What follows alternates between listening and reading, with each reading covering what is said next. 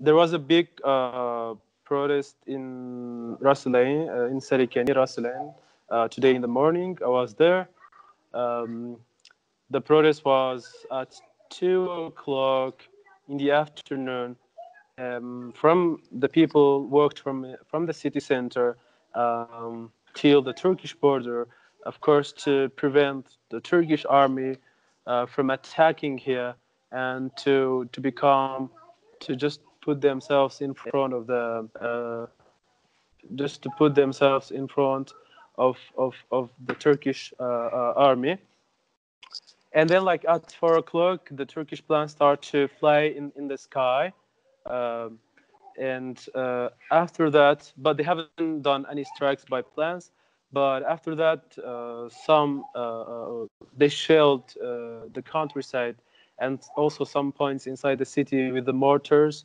And of course, just uh, uh, the, and of course this led to to to to the civilians to immigrate to the south, um, to the south, and uh, to to the to the, the south countryside also in in in Sarikani, just to be uh, a bit far from from the border.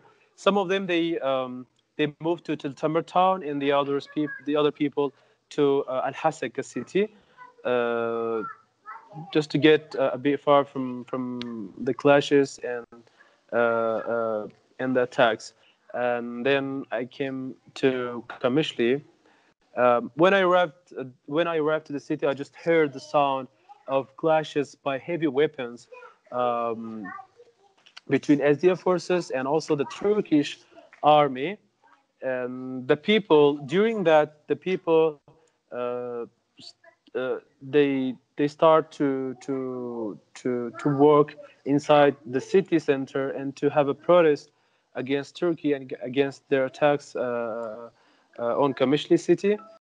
Uh, there were like hundreds of people, as you, as you have seen on my video in Twitter, um, and mostly uh, as they said that tomorrow in the morning at 10 o'clock Syrian time, there will be another protest inside the city. Um, they, they have bombed uh, many different places here inside the city. Uh, uh, I was in one of uh, the points.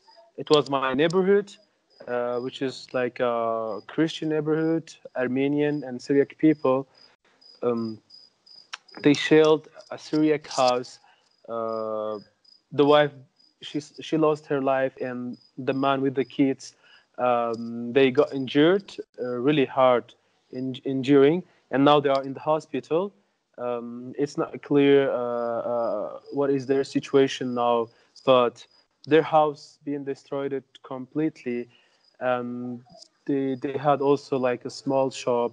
Um, also, it has been destroyed. I have seen some blood on the ground. Um, uh, it was really uh, hard. Like it affected me so much because I know I know them. They were my neighbors.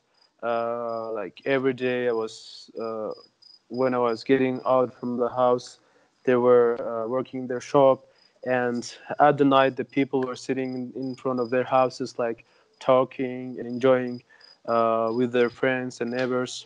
But like tonight and especially today, it's uh, it's another city.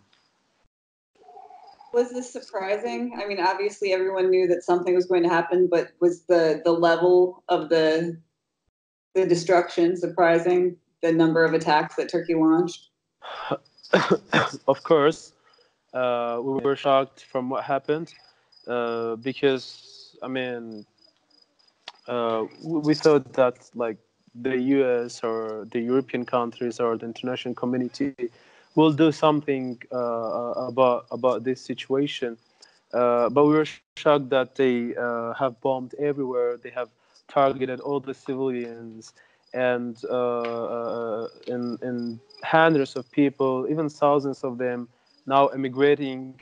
And um, recently, a journalist called me and he told me that there are a lot of families that uh, now they are sleeping outside um, just just uh, just just um, in the streets so uh, yeah, it's a terrible situation here. Uh, we are really worried for what for what will happen uh, in my region the like the next hours or tomorrow. Is there still hope uh, among the people that someone will do something that the international community will step in? Well, I mean, of course, uh, we still have the hub, but uh, I mean, I mean, the people here they don't trust anymore, and, and even exactly what Trump is saying always that the Kurdish people are good and they are heroes, but he hasn't done anything for us. Just uh, speaking uh, what he wants to speak and what is good for his interests. Um, nothing on the ground and nothing practical.